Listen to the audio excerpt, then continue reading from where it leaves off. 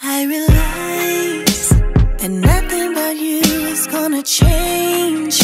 And you're way too goddamn comfortable with me.